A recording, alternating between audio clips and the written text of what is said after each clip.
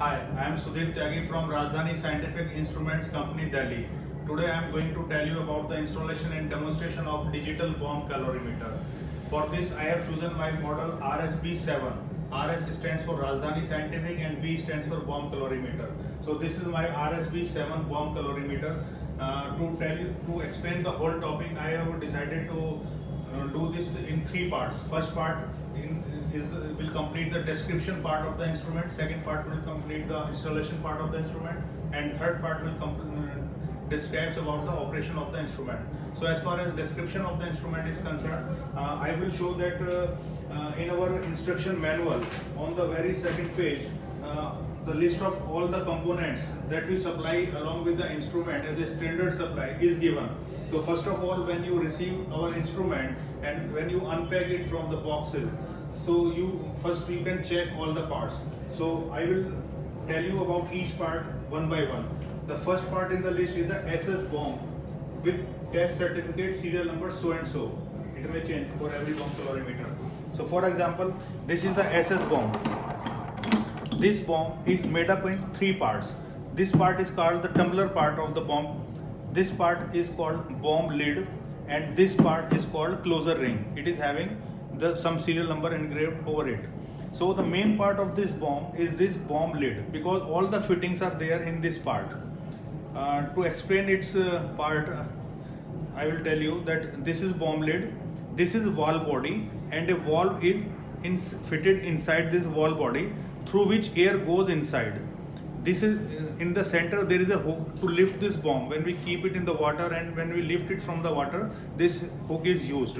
These are the two terminals we call it bomb terminals. These are used to make electrical connections. Uh, electrical lead goes inside these bomb terminals. These are two electrodes. One is smaller electrode.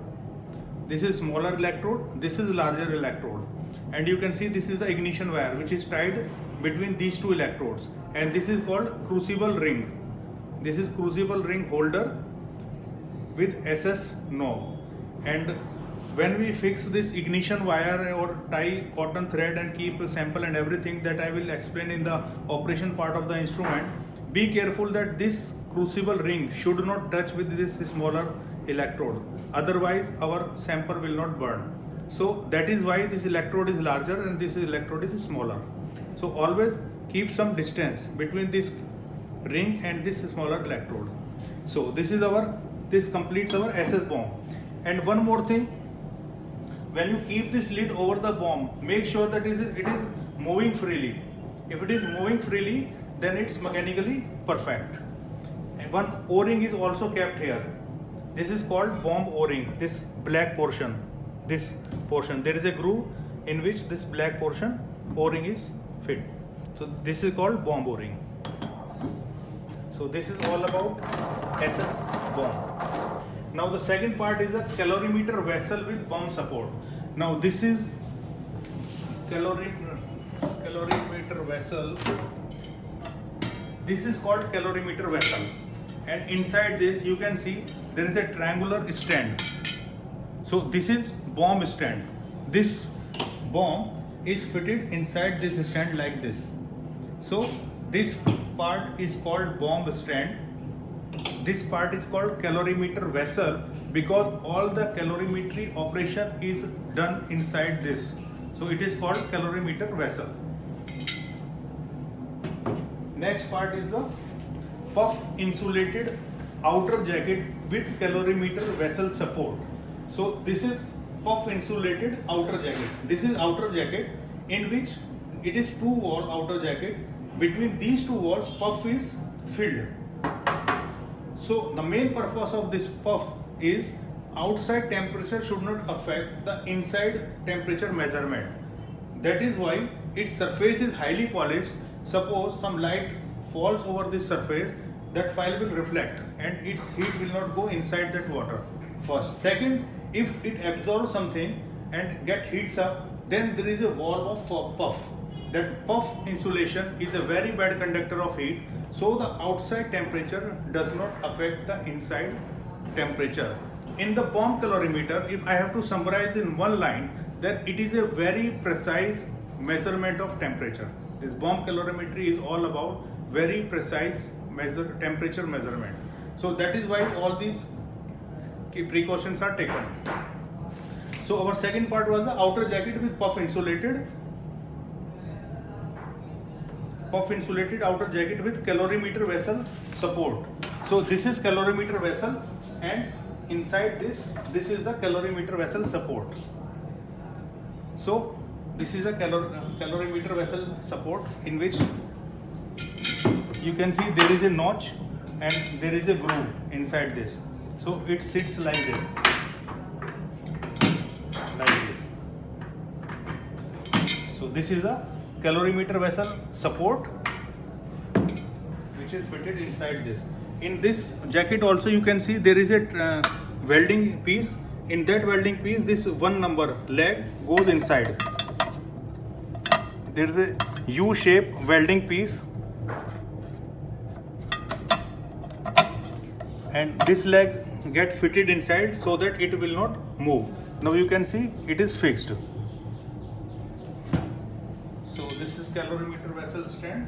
Calorimeter vessel, bomb stand. Now the next part is combined lid for outer jacket and calorimeter vessel. Now this is the combined lid. Why it is uh, it is why it is called combined lid? Because it is lid of two parts. One part this covers this calorimeter vessel and this part covers this portion. So it is combined. Generally this part is dismantled before packing. For ease of packing, it is dismantled. This upper plate and lower plate are opened and then packed for safety. So first you can assemble this part very easily. These are two spacers and uh, these big hole should match with this big hole small hole will match with small hole that's it it is very simple some figure is also given in the instruction manual so this is combined lid and you can see there is a small groove and there is a big groove. This big groove is for the electrical wire and this small groove is for one pin is there. So if you fix this pin in this groove so it get fixed. One from this point this pin will hold this combined lead and from this this uh, will hold this. So it is it get fixed. So this is combined lead. after combined lead, flexible connecting tubes for oxygen filling in bomb. See oxygen is filled in this bomb every time to burn the sample. For that we have to use flexible tubes. One tube is this and from oxygen cylinder this is pressure regulator we give this pressure we do not supply oxygen cylinder with our standard instrument. So this pressure regulator has standard threads. This pressure regulator is attached with the oxygen cylinder and at the output of this pressure regulator this flexible tube is used. And this uh, one input to the pressure regulator and output of this tube to the input of auto gas unit. And from output of auto gas unit, this another tube goes to the bomb. So there are two tubes used for model RSB7 one tube from output of pressure regulator to the input of auto gas unit and from output of auto gas unit to the input to the SS bomb. So these are the two flexible tubes. Now the next part is the spanner for oxygen pressure regulator. Now this this is a spanner. The number of this spanner is 25, 28, 25 represents the 25 mm and 80, 28 specifies the 28 mm distance. This distance. So this is used. This 20 mm size is used to open or tight this pressure regulator to the oxygen cylinder. So next part is number seven is oxygen pressure regulator. This is oxygen pressure regulator. Now it has two gauges. One gauge will tell you the pressure in the oxygen cylinder and second gauge will tell you what pressure you will set to use. So for setting this pressure, this is a T handle. It is called T handle. When you rotate it anti-clockwise, it will come out like this. And when you turn it clockwise, you have to rotate it clockwise till the pressure in this gauge will become up to 40 35 to 40 kg. Mind it, the unit is 35 to 40 kg.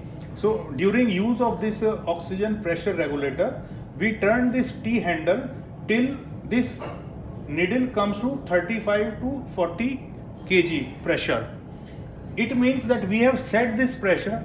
Now we will, when we'll take using this uh, oxygen in our bomb by pressing a button, then it, won't, it this pressure regulator won't allow more pressure than whatever we have set here. So it acts as a regulator. So this is oxygen pressure regulator. Next part is part uh, serial number 8 bomb lid stand. This part is called bomb lid stand. Here we can put our bomb lid. Sometimes we have to make tie samples or whatever we want to do. So this way our both hands are free. We can easily sit and do whatever we want to do. Keep sample tying cotton thread or ignition or wire or whatever. So this part is called bomb lid stand. Next part, item number 9 is auto gas filling unit. This is our auto gas filling unit. As I just explained, or in auto gas unit, two pipes are there. At the back side, if I show you, one port is oxygen in, one port is oxygen out. So there are two ports, oxygen in, oxygen out. In the front, this is the main switch and this one gauge is also there. We have to press only this button. As we press this button, this green light indicates that uh, gas can be filled in the oxygen, uh, in the bomb. Oxygen can be filled in the bomb.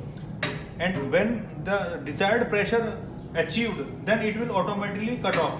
Even if you keep it pressed, then this green light will uh, shift to the red light and oxygen flowing to the bomb stops. So this is all about auto gas unit. The main purpose or usage of this auto gas unit, if you fix all the connection properly in one time, then you have to just press the button. Whatever oxygen is required in the bomb, it, it will be taken by the bomb and then it will stop. Then you can easily open it like that. Charging of bomb becomes very easy and the flow of oxygen inside the bomb is also consistent uh, which gives better results. So this is all about auto gas unit.